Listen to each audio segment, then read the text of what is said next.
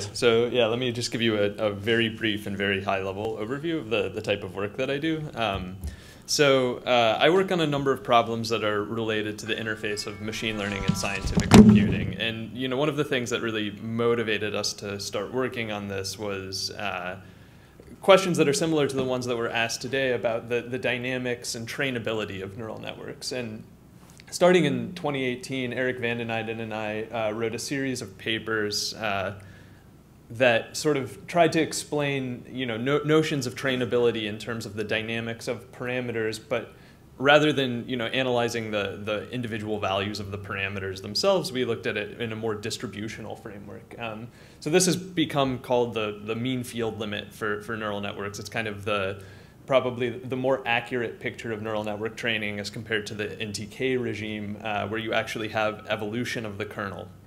And so this can be viewed as a sort of dynamical extension of the uh, universal approximation theorems. So it's something that tells you that you are guaranteed global convergence of the training procedure in the over-parameterized regime.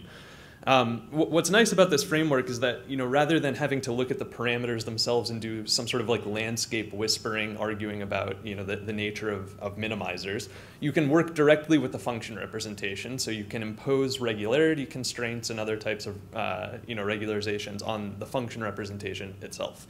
So, so that has motivated us to, to move in the direction of uh, trying to use neural networks in contexts in scientific computing where we need representations of naturally high dimensional functions.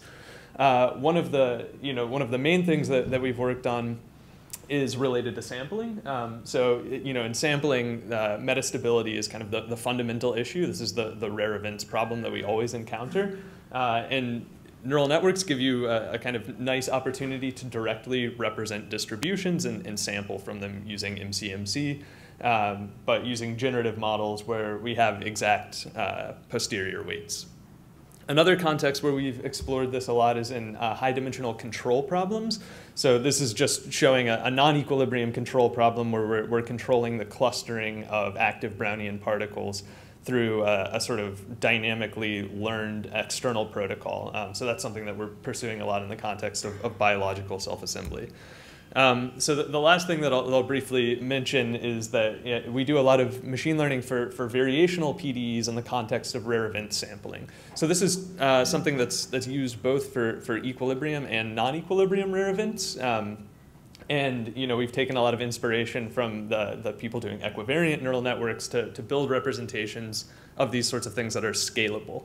Um, so on the left, this is just showing a, a sort of non-equilibrium variational PDE that we solve, which is related to, to large deviation theory. Um, and this allows us to build a sort of non-equilibrium phase diagram for active systems.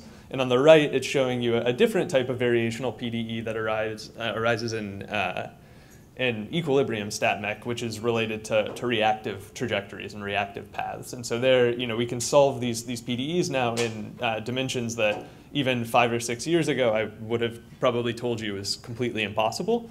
Um, you know, I mean, these are, so the, the one on the right is for, for a protein, right? So. All right. Thank you.